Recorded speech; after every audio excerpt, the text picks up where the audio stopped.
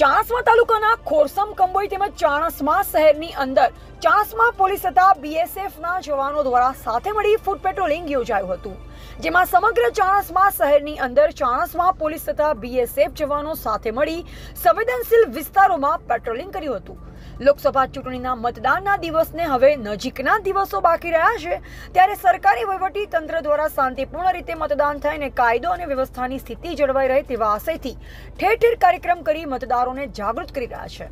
ત્યારે ચૂંટણીના અનુલક્ષી ચાણસમા તાલુકાના સંવેદનશીલ વિસ્તારોમાં જેવા કે ખорસમ તથા કંભોઈ ગામે